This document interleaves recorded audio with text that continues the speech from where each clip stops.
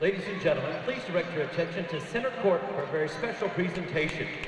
Senior guard Marcus Paige made three three-pointers on Saturday in Texas to become the all-time leader in Carolina history in three-point field goals.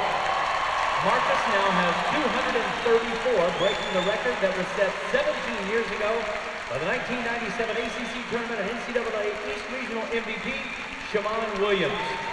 Shammond is now in his third year as an assistant coach at Tulane, and tonight is presenting a commemorative ball to Marcus Paige. Ladies and gentlemen, please join us in welcoming home Shammond Williams and congratulating Marcus Paige on becoming the all-time three-point leader in Carolina basketball history.